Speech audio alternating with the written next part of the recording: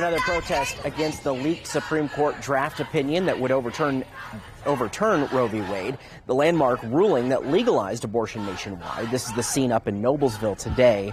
This group making their signs and voices heard. They joined others flooding the streets across the U.S. in response to the leak.